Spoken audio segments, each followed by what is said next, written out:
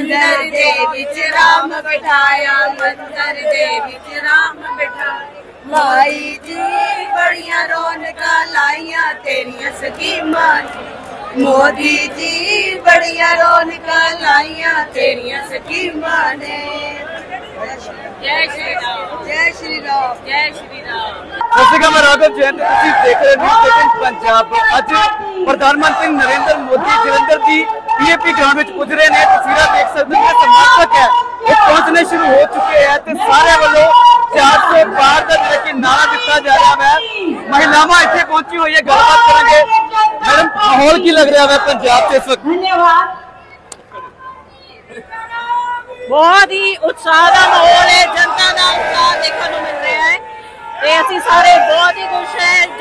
ਵਾਸੀ ਤੇ ਆਸ ਪੜੋਸ ਤੋਂ ਵੀ ਸਾਰੇ ਲੋਕ ਬਹੁਤ ਹੁਮ ਹੁਮ ਆ ਕੇ ਇੱਥੇ ਮੋਦੀ ਜੀ ਦੇ ਸਵਾਗਤ ਦੇ ਵਿੱਚ ਪਹੁੰਚੇ ਹਨ। ਤੇ ਅਬ ਕੀ ਬਾਰ ਜਿਹੜਾ 400 ਪਾਰ ਦਾ ਜਿਹੜਾ ਸੁਪਨਾ ਹੈ, ਉਹ ਪੂਰਾ ਹੋਣ ਜਾ ਰਿਹਾ ਹੈ। ਪੰਜਾਬ ਦੁਆਰਾ ਤੋਂ ਸੋਨੇ ਦੀ ਚਿੜੀਆ ਰੰਗਲਾ ਪੰਜਾਬ ਬਣਨ ਜਾ ਰਿਹਾ ਹੈ। ਲੱਗਦਾ ਕਿ ਬੀਜੇਪੀ ਪੰਜਾਬ 'ਚ ਸਟਰੋਂਗ ਨਜ਼ਰ ਆ ਰਹੀ ਹੈ ਸੀਟਾਂ ਮਿਲੂਗੀ ਪੰਜਾਬ ਵਿੱਚ। ਹਾਂਜੀ ਹਾਂਜੀ ਬਿਲਕੁਲ ਸਟਰੋਂਗ ਪੋਜੀਸ਼ਨ ਹੈ। ਇਸੇ ਕਰਕੇ ਬੀਜੇਪੀ ਇਸ ਵਾਰ ਜਿਹੜਾ ਹੈ ਇੰਡੀਪੈਂਡੈਂਟ ਜਿਹੜਾ ਹੈ ਉਹ ਆਪਣਾ ਚੁਣਾਵ ਜਿਹੜਾ ਹੈ ਲੜਨ ਜਾ ਰਹੀ ਹੈ ਤੇ ਸਾਨੂੰ ਪੂਰੀ ਉਮੀਦ ਹੈ ਕਿ ਭਾਜਪਾ ਹੀ ਇੱਥੇ ਵਿਜਈ ਰਹੇਗੀ। ਕਿਹੜੇ ਮੁੱਦੇ ਲੱਗਦੇ ਮੈਨੂੰ ਪੰਜਾਬ 'ਚ ਜਿਹੜਾ ਕਿ ਬੀਜੇਪੀ ਲੈ ਕੇ ਆਈ ਹੈ ਜਾਂ ਪਿਛਲੇ ਕਈ ਸਾਲਾਂ 'ਚ 10 ਸਾਲਾਂ 'ਚ ਹੱਲ ਹੋਏ ਪੰਜਾਬ ਦੇ ਮੁੱਦੇ। पंजाब के मुद्दे और ज़्यादा हल हो जाएँगे जब पंजाब में बीजेपी आ जाएगी। और उसके अलावा कहना चाहूँगी, भारतवर्ष में मोदी जी ने बहुत अच्छी अच्छी स्कीमें चलाई जिससे बहुत सारे घर उज्जवल हुए, बहुत लोगों के घरों में सिलेंडर, गैस, बहुत सारी फैसिलिटीज़ आई।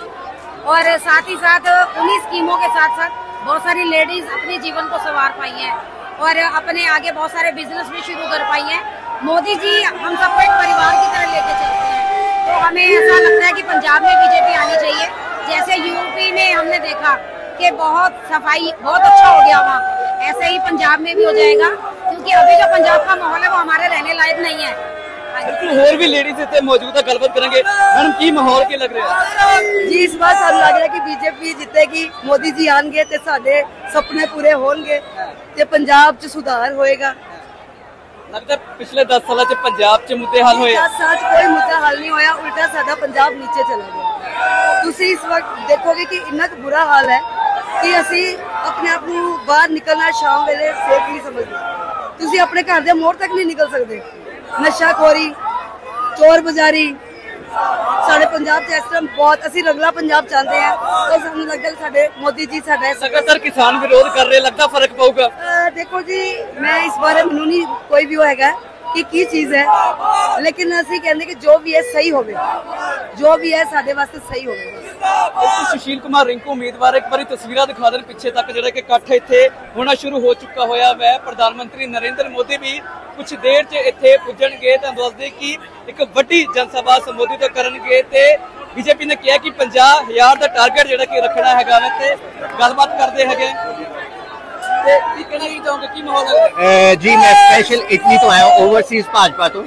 ਜੀ ਮੈਂ ਸਪੈਸ਼ਲ ਕੱਲ ਹੀ ਆਇਆ ਤੇ ਮੈਂ ਅਹ, ਆਪਣਾ ਕਹ ਲੋ ਸਹਿਯੋਗ ਦੇਣ ਆਇਆ ਬੀਜੇਪੀ ਦੇ ਪਰਿਵਾਰ ਨੂੰ ਹੋਰ ਵਧਾਉਣ ਲਈ। ਤੇ ਮੈਂ ਗਰੰਟੀ ਨਾਲ ਕਹਿ ਰਿਹਾ ਜਿੰਨੀਆਂ ਅਸੀਂ ਸਰਕਾਰਾਂ ਨੂੰ ਮੌਕਾ ਦੇ ਕੇ ਦੇਖ ਲਿਆ ਆ ਇਸ ਵਾਰੀ ਮੈਂ ਚਾਹੁੰਦਾ ਕਿ ਬੀਜੇਪੀ ਦੀ ਸਰਕਾਰ ਨੂੰ ਇੱਕ ਵਾਰੀ ਮੌਕਾ ਦੇ ਕੇ ਦੇਖੋ ਪੰਜਾਬ ਦਾ ਵਿਕਾਸ ਹੈ ਨਾ ਜਿਹੜਾ ਇਹ ਸਿਰਫ ਤੇ ਸਿਰਫ ਬੀਜੇਪੀ ਦੇ ਨਾਲ ਹੈ। जय श्री राम बोले सोने हाल। मंदिर दे बिच राम बिठाया मंदिर दे बिच राम बिठाया माई जी बड़िया रौनका लाइया तेरिया स्कीमा मोदी जी बड़िया रौनका लाइया तेरिया स्कीमा ने जय श्री राम जय श्री राम जय श्री राम ਕੀ ਨਾਮ ਤੁਹਾਡਾ? ਮੇਰਾ ਨਾਮ ਰਾਣਾ ਵਰਮਾ ਜੀ ਮੈਂ ਭਾਰਤੀ ਜਨਤਾ ਪਾਰਟੀ ਤੋਂ ਮੰਡਲ ਪ੍ਰਧਾਨ ਹਾਂ ਜੀ। ਕੀ ਮਾਹੌਲ ਕੀ ਲੱਗ ਰਿਹਾ ਪੰਜਾਬ 'ਚ? ਮੋਦੀ ਸਾਹਿਬ ਆ ਰਿਹਾ ਬਹੁਤ ਵਧੀਆ ਮਾਹੌਲ ਹੈ ਜੀ। ਤੁਸੀਂ ਆਪ ਕੈਮਰਾ ਘੁਮਾ ਕੇ ਦਿਖਾ ਸਕਦੇ ਹੋ। 43 ਡਿਗਰੀ ਟੈਂਪਰੇਚਰ ਦੇ ਬਾਵਜੂਦ ਵੀ ਇੱਥੇ 100% ਜਿਹੜਾ ਜੋਸ਼ ਤੁਹਾਨੂੰ ਦਿਖਾਈ ਦਿੱਤਾ ਜਾਏਗਾ। ਤੇ ਅਸੀਂ ਸਾਰੇ ਆਪਣੇ ਕੰਮ ਕਰ ਛੱਡ ਕੇ ਇੱਥੇ ਆਏ ਆ ਮੋਦੀ ਦਾ ਸਵਾਗਤ ਕਰ ਰਹੇ ਆ ਤੇ ਮੈਂ ਸਵਾਗਤ ਤੁਹਾਡਾ ਵੀ ਕਰ ਰਿਹਾ। ਆਪਣੀ ਭਾਰਤੀ ਜਨਤਾ ਪਾਰਟੀ ਵੱਲੋਂ ਕਿ ਜਿਹੜੇ ਮੇਰੇ ਪੱਤਰਕਾਰ ਆਪਣੇ ਭਰਾ ਜਿਹੜੇ ਇੱਥੇ ਆਏ ਨੇ ਇੰਨੀ ਗਰਮੀ ਦੇ ਵਿੱਚ ਇਹਨਾਂ ਨੇ ਸਾਨੂੰ ਆਪਣਾ ਜੋਸ਼ ਦਿਖਾਉਣ ਵਾਸਤੇ ਆਪਣੇ ਕੈਮਰੇ ਬੁਲੰਦ ਕਰ ਦਿੱਤੇ ਨੇ। ਭਾਰਤ ਮਾਤਾ ਕੀ ਜੈ! ਵੰਦੇ ਦਿੱਤਾ ਵੇ ਲੱਗਦਾ ਪੰਜਾਬ 'ਚ ਵੀ ਸੀਟਾਂ ਮਿਲਣਗੀਆਂ ਬਹੁਤ ਬਿਲਕੁਲ ਮਿਲਣਗੇ ਜੀ 400 ਤੋਂ ਉੱਪਰ ਪਾਰ ਜਾਏਗੀ। ਬਾਕੀ ਸਾਰੀਆਂ ਪਾਰਟੀਆਂ ਨੂੰ ਪਤਾ ਹੈ ਕਿ ਅਸੀਂ ਨਹੀਂ ਜਿੱਤਣਾ ਬਟ ਆਪਣਾ ਕੰਮ ਕਰ ਰਹੇ ਨੇ ਅਸੀਂ ਆਪਣਾ ਕੰਮ ਕਰ ਰਹੇ ਹਾਂ। ਤੁਸੀਂ ਸਾਡੇ ਜੋਸ਼ ਤੋਂ ਤੁਸੀਂ ਅੰਦਾਜ਼ਾ ਲਗਾ ਸਕਦੇ ਹੋ ਅਸੀਂ 400 ਪਾਰ ਜ਼ਰੂਰ ਜਾਵਾਂਗੇ। ਭਾਰਤੀ ਜਨਤਾ ਪਾਰਟੀ! कहाँ से आए मैं फिरोजपुर से आया हूँ। प्रधानमंत्री को लेकर कैसा माहौल लग रहा है पंजाब में? प्रधानमंत्री मोदी जी पंजाब का भला करने के लिए आ रहे हैं और सारा पंजाब मोदी जी के बेसब्री से इंतज़ार कर रहा है कि वो आए और पंजाब का सुधार करें।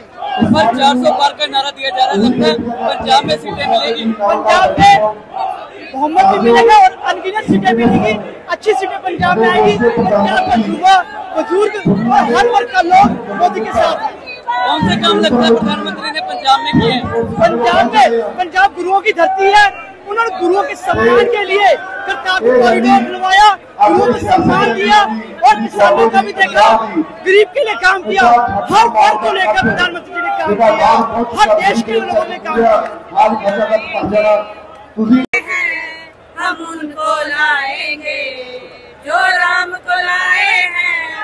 हम ਚ ਜੋਸ਼ ਦਿਖਦਾ ਪਿਆ, ਉਹਨਾਂ ਦਾ ਕਹਿਣਾ ਕਿ ਜੋ ਰਾਮ ਕੋ ਲਾਏ ਹੈ ਉਨਕੋ ਲਾਏਂਗੇ ਤੇ 400 ਪਾਰ ਦਾ ਨਾਰਾ ਦੇ ਰਹੇ ਕਹਿੰਦੇ ਕਿ ਲੰਬੇ ਸਮੇਂ ਤੋਂ ਪੰਜਾਬ ਵਿੱਚ ਸੁਧਾਰ ਨਹੀਂ ਹੋ ਰਿਹਾ ਤੇ ਇਸ ਵਾਰੀ ਉਮੀਦ ਕਰਦੇ ਕਿ ਬੀਜੇਪੀ ਜਿਹੜੀ ਕਿ ਚੰਗੀ ਸਿੱਟਾਂ ਜਿਹੜੀ ਕਿ ਹੈ, ਪੰਜਾਬ ਵਿੱਚ ਵੀ ਹਾਸਲ ਕਰੂਗੀ ਤੇ ਕੁਝ ਦੇਰ 'ਚ ਪ੍ਰਧਾਨ ਮੰਤਰੀ ਨਰਿੰਦਰ ਮੋਦੀ ਜਿਹੜਾ ਕਿ ਹੈ ਪੀਏਪੀ ਗਰਾਊਂਡ ਵਿੱਚ ਪਹੁੰਚ ਰਹੇ ਨੇ। ਕੈਮਰਾਮੈਨ ਰਾਜਨ ਦੇ ਨਾਲ ਮੈਂ ਰਾਘਵ ਜੈਨ, ਨਿਊਜ਼ 18 ਪੰਜਾਬ।